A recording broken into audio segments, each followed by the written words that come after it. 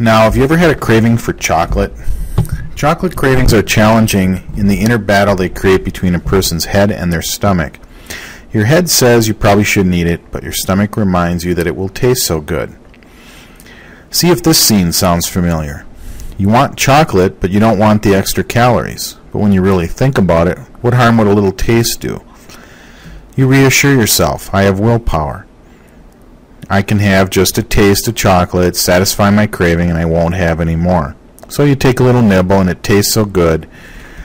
Oh, it tastes so good. Now, since you've already broken your diet, you might as well eat a little more. Pretty soon you've eaten half of the chocolate by nibbling. Perhaps you're feeling a little guilty. You tell yourself, I don't want to eat any more chocolate. You also don't want to be tempted to eat more chocolate later, so therefore it makes perfect sense to finish eating all the chocolate now. That way you won't have to worry about it later. Now, this, this lesson is all about credit cards, so it makes perfect sense to talk about chocolate, doesn't it? You see, credit cards are a lot like chocolate. If you don't use your credit cards very often or you eat too much chocolate, you'll probably be okay. But like chocolate, credit cards exist on a slippery slope. The more you use them, the easier it is to use them again. If you eventually find yourself where you've overdone it with credit cards, you could spend a lifetime trying to pay them off, just as you could spend a lifetime trying to work off the extra padding around your middle from chocolate. Now, we don't want to turn people off here. We're not saying everyone has or will get into trouble with credit cards. If you've never had the credit card blues, congratulations. Even if you've never fallen into the minimum payment, we encourage you to study this course anyway. Just like the analogy of fire, credit cards could still burn you one day if you aren't careful, even if you pay them off every month. Now, perhaps there was a time when you decided that credit cards would only be used for emergencies. Your definition of emergency included items like surprise car repairs and such like that. Over time, however, your definition of emergency evolves. After a while, a sale at the mall before payday qualifies as an emergency. Perhaps eventually your definition of emergency could include I want to go out to dinner and have fun, but my wallet says no. Do you have any credit cards? Chances are you do, since in the United States alone there are over 1 billion credit cards in circulation. 1 billion credit cards. That's almost four credit cards for every man, woman, and child in the country. Now, we assume that most of the 50 million grade school and younger kids don't have credit cards, so that means that some of us have many more than four.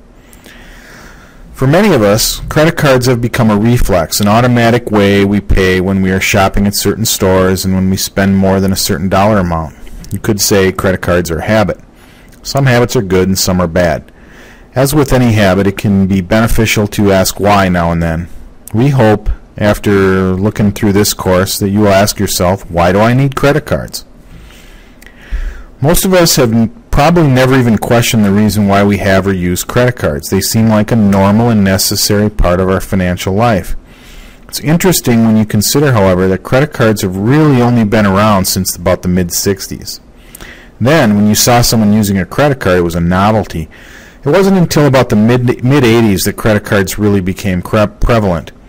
Now, credit cards are used so frequently it's almost a novelty to see someone using cash. There is one simple reason why most people accept and use credit cards so willingly. The credit industry has been very successful marketing their products. You've seen the commercials, MasterCard, it's smart money. Don't leave home without it.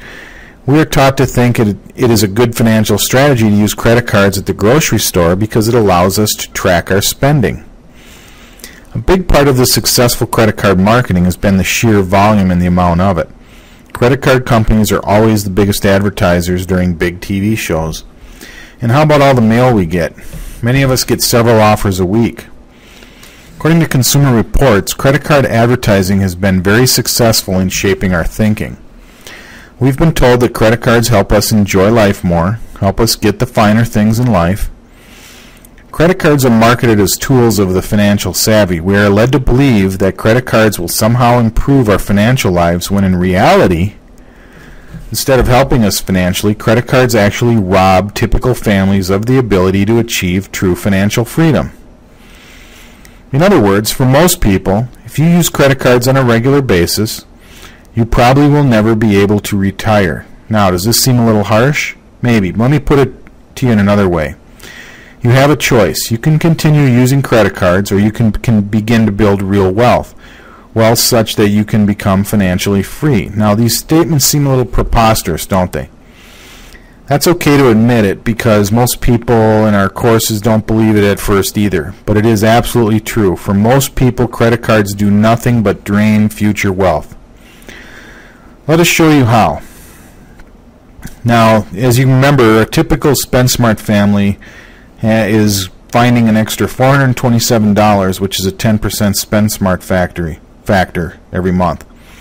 Now, we def define financial freedom as a million or more in net worth.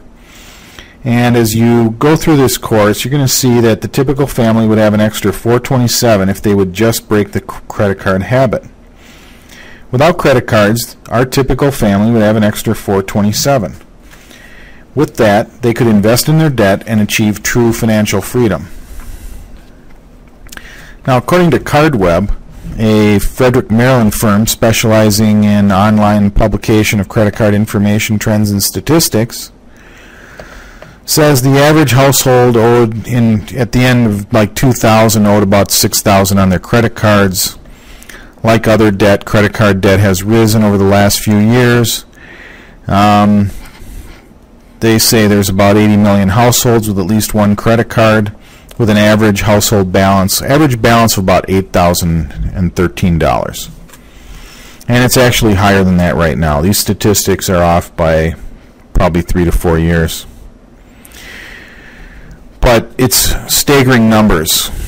So, you know, there's 100 million households with credit cards half of them are paying them, actually a third of them are paying them off each month, and two thirds of them are not.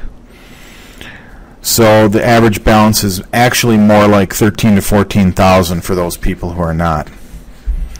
Now with credit cards, most people are doomed to a lifelong merry-go-round ride of using them, slowly paying them down, using them, slowly paying them down. They're the fastest route to financial disaster. So let's look at the big number a billion credit cards in circulation. And spending on credit cards is over a trillion dollars a year in the United States. And that's a pretty massive number. So, when expenses grow faster than income, this is a financial disaster waiting to happen. Why do we have so many credit cards and use them so much? Maybe it's because credit cards are smart money. Maybe it's because we can earn free travel and other goodies with the awards programs. Maybe we like those cashback bonuses. Maybe we like the convenience. Maybe we like the prestige. Don't you think you were really special when you got your first gold card? Whatever we may think is the reason we have a wallet full of credit cards, there is one major factor that probably contributes to the large number of credit cards more than any other reason. And that is because there are so many in circulation today because credit card companies make it easy to get them. Now you've heard all the stories about dogs, cats, eight-year-old kids, deceased people being sent pre-approved credit cards in the mail. Obviously those are mistakes, but there are many people who get credit cards that you would never imagine. People with bankruptcies, bad credit can easily get credit cards. And we'll talk about more about these people later, but let's continue with a discussion of why we have why do we have so many credit cards. There's a deeper reason to consider. So why do credit card companies make it so easy to get credit cards? Well, quite simply because they're very profitable for the credit card companies. It's a simple fact, folks. Credit card industry is very profitable. We all think about Bill Gates as the richest man in the world, but do you know who the second richest Amer American is? Um, person who owns MBNA, a credit card company that targets people with bad credit histories. Now you might wonder, how can one become wealthy by giving credit cards to bad credit risks? Well, they do very well because their customers tend to be people who have no choices. That is, they typically cannot get cards from other companies. So they are more likely not only to pay higher interest rates, but also higher fees and service charges. And this leads us to the four credit card company secrets. And there are four secrets, and we're going to go through them one by one. So let's look at uh, credit card secret number one. Credit cards cost you money even if you pay them off in full each month. Now, people assume the only costs they need to worry about with credit cards are interest rates, charges, and annual fees. They look for cards with no annual fees and no in, and an interest-free grace period, so they don't have to pay interest rates if they plan on paying off the card each month. So people often ask us if I, you know, I pay off my credit cards each month, so it's okay to use them, right? Well, first let us repeat. Our purpose is not to tell you what to do. But don't make the assumption that paying off your cards each month is the same as having no cost. Yes, it is true that with most cards you won't pay interest charges if you pay off your card each month. There is, however, a hidden cost most people fail to realize. Here's the rest of the story. When you use a credit card, you spend more money than when you use cash. You spend more money when you use a credit card. This truth is so obvious when you think about it. Let's say you need to get some clothes. You decide to go shopping at the local mall. Do you think you will spend more money if you go shopping with $100 cash or if you take your credit cards? So even if you pay your bill off at the end of each month, you have less money left over at the end of the month because when you use your credit card to make purchases, you spend more than you would with cash. Therefore, credit cards cost you more. And think about this. If you have the money to pay off the credit card each month, why are you using the card in the first place? Did you know that when a retailer swipes your card, they are paying the credit card company 2 to 4% of your purchase? That means if you spend $100, the store is going to give as much as $4 to Visa, MasterCard, American Express, Discover, whoever. Now, why would the retailer be willing to give money away? Well, retailers want you to use cards because they want you to spend as much money as possible. If it costs a retailer a couple percentage points of the sale, it is worth it because the sale will be much larger. How much larger? Well, in other words, how much do, more do people spend when they use a credit card? Well, according to research, they spend as much as 212% of what they would have spent with cash. And most of us can relate to this. When you are shopping, counting out money at a checkout, it's a little painful, isn't it? Compared to whipping out that credit card, you bet it is. We don't think of it as $300 or whatever you're spending. We think of it as a few more bucks on my monthly payment.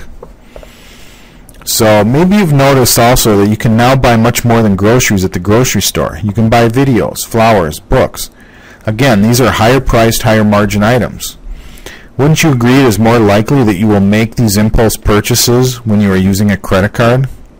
Let's go back to the clothing clothes shopping trip example for a minute. If you use cash, you spend $100. If you use a credit card, you might spend as much as $212. Is it worth it to the retailer to pay the 2% fee to the credit card company? Well, you do the math. Scenario 1. Assume the retailer gets a 50% margin on the items you buy. That means for every dollar you spend, they keep 50 cents after paying the suppliers for the items. So with the $100 you walked in and paid for with cash, the retailer got to keep $50. Now, scenario number two. If you use your credit card and you spend 212 instead of the 100, how much does the retailer end up with? If the store pays the highest credit card fees, which might be, say, $8 on 212, and again assuming a 50% margin, store has $106 left after paying the wholesalers. And then they have an $8 fee, so they end up with $98. So it's worth it to the store to pay a percentage of the sale amount to the credit card companies.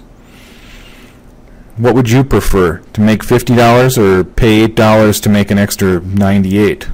Well, retailers have, retailers have learned credit card users spend more money. It is obvious that they are trying to turn this fact into more profit. Have you ever noticed that stores have greatly increased their efforts to get you to use their cards? If they can get you to use their card instead of Visa or some bank card, then they keep all the fees and increase their profits.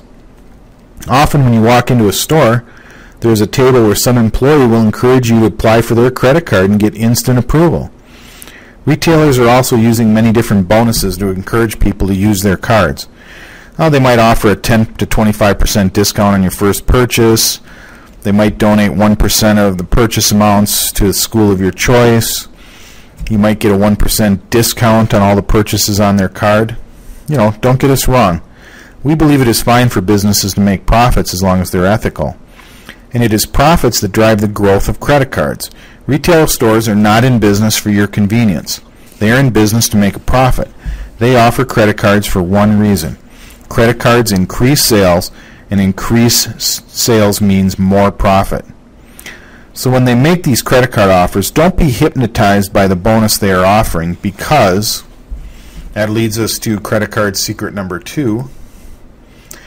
There is no such thing as a free lunch. There are so many credit card bonuses out there cash back, donations to charity, frequent flyer miles, buyer points.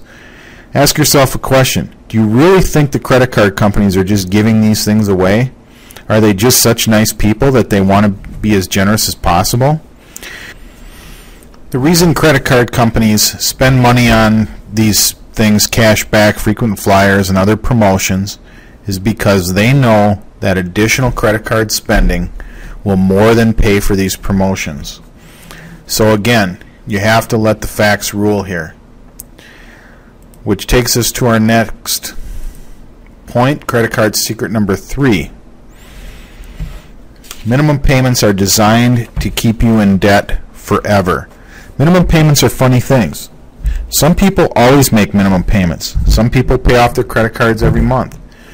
Most of us are somewhere in between these extremes. Has there ever been a time when you were short on money and you were glad that you could just pay the minimum amount? Minimum payments are convenient because they're easy. Typically, we analyze our financial situation based on how much money we have left over at the end of the month. Minimum pay payments trick us into thinking that we have more money than we do. Now, we all know that minimum payments mean we pay more interest, but it's not that much interest, is it? In our courses, we always ask people the following question. If you spend $2,000 on, dollars on your 17.9% credit card and make minimum payments, how long does it take to pay off the debt? Most people will say it'll take between 5 and 10 years with minimum payments. Well, hold on to your hat, folks, because the rest of the story is when you make minimum payments on a 17.9% credit card with a $2,000 balance, it takes 30 years and 5 months to pay it off. And you will make a total of $6,827 in payments, spending $4,827 in interest. Now, for those of you who are getting your slide rules or your financial calculators out, there's, there's a number of unique factors inherent in credit card or revolving debt that make this different from a mortgage or a car payment. The first factor to recognize with credit cards is that minimum payments are not necessarily level payments. Have you ever noticed that your minimum payments on a credit card go up or down as your balance goes up or down? Minimum payments on credit cards are typically based on the current balance. They are calculated as a percentage of the balance. Minimum payments are generally 2 to 3% of the balance. So, in this example, we used a minimum payment of 2%. With a $2,000 debt, the minimum payment is therefore $40. If you make a $40 payment every month, then the $2,000 debt is paid off in 7 years and 9 months. But $40 is the minimum payment on the first month only. After you've made the first minimum payment of $40, you no longer owe 2,000. The $40 payment paid for $30 of interest and $10 of principal. So after the first payment, the balance is now $1,990. Since minimum payments amounts are calculated as a percentage of the balance, your next payment is now $39.80. Are you beginning to see why minimum payments on credit cards can stretch your payment out for years or even decades? If you are on time with your payments and you are slowly paying down your debt, what rewards are you given? You are rewarded with reduced payments that allow you to continue paying on the debt for even longer. If you think about the math, you will realize that you can never pay off a debt by only paying a percentage of the balance each month. At some point, you will have to pay more than 2% of the balance on the or the debt will continue forever. All credit cards have a minimum payment amount, usually in the range of 10 to $25. Eventually, if you are making minimum payments, your payment will be more than 2% of the balance, but it will still take you 30 or 40 years to pay it off. For many people who make minimum payments, it can actually take even longer to pay off a debt. There are other factors that can increase the amount of time that it takes to pay off this $2,000 credit card debt. These factors include take a month off promotions, late charges and penalties, and annual membership fees. When one is making minimum payments, there is no room for error and these other factors come into play. Have you ever received your credit card statement with a notice that says take a month off on us? Sometimes, especially around the holidays, if you have kept current on your payments, you are given a month off from your payment. Do you think the credit card companies make this offer simply in the spirit of the season? Or do you think they are motivated by the additional interest they will earn? You can take a month off from payments, but your interest never even takes a day off. Your balance actually goes up and you didn't buy anything. So, how about late charges and penalties? Most people don't end up having these fees assessed, but would you agree that someone who is making minimum payments is more likely to have such a tight budget that they miss a payment every once in a while? Credit card companies make the most money from clients who make minimum payments. If someone makes minimum payments on their credit cards, they keep their debt longer and therefore pay more interest and more fees. All of this interest and fees are money that you could be investing in your debt. Don't let the credit card companies take it. What should be going, you know, don't let them take what should be going toward your financial future. Minimum payments are a dual-edged sword, meaning they can be good or bad for you. If in a month or two your available cash is extra tight, minimum payments can be a blessing. But if you fall into the habit of making minimum payments, like any habit, it can be difficult to change. So keep that in mind. Regardless of your income, you must avoid minimum payments at all costs, or you'd stand the chance of losing your financial future. So get started today with your Invest in Your Debt program and break the bonds of minimum payments. After following IYD for a short time, you'll be free of minimum payments forever. And once you break free, you'll be able to invest in your debt at a maximum level. And once you invest in your debt, you will be able to achieve true financial freedom. But we've said it before, it's a choice. You can ignore all of this information, continue making minimum payments, and face a lifetime of financial bondage. Or you can invest in your debt, break the cycle, and look forward to financial freedom. Which leads us to credit card secret number four. Credit card companies that offer you a card when no one else will are not your friend. And this last secret goes against what you would intuitively think. Imagine this scenario if you have not already experienced it. Money is tight in your family. Perhaps your credit cards are charged to their limit and you are worried about the what if scenarios.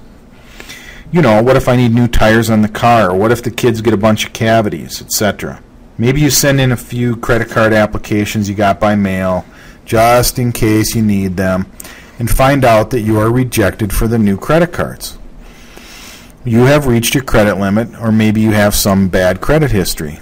Then one day you get another credit card application and you send it in, hoping you will get lucky.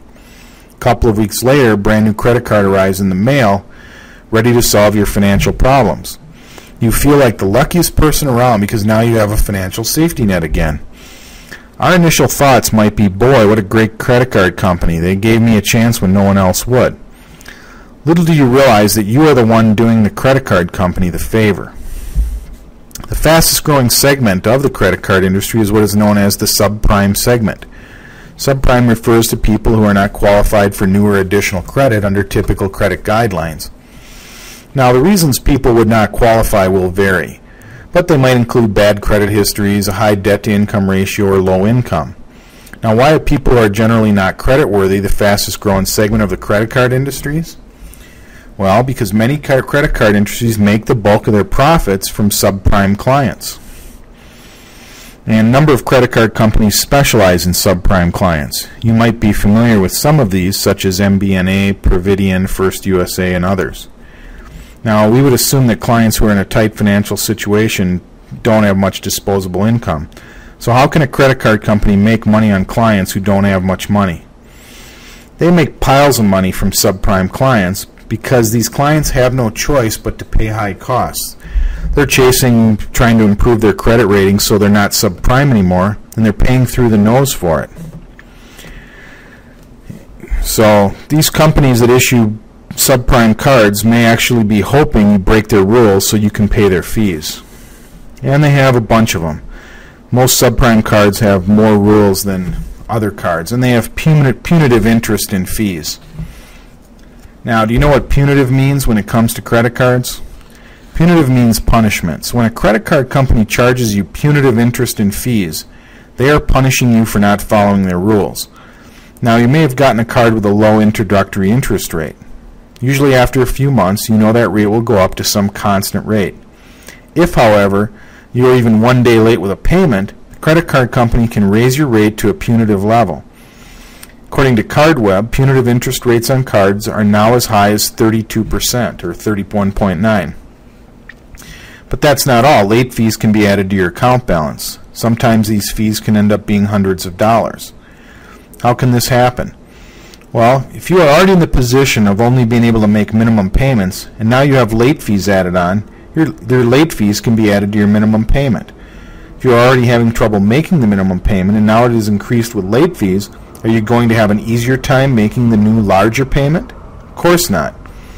The next month, you will still be considered late because you haven't made the minimum payment. So what happens then? More late fees. But it gets even worse, folks. What if you are nearing your credit limit on a subprime card? If you go over the limit, you can then be charged additional punitive interest charges and fees.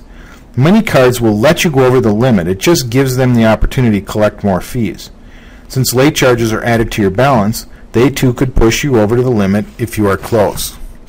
It doesn't take more than a late payment or two or going over your limit just once to lock you into years of sky high interest and fees.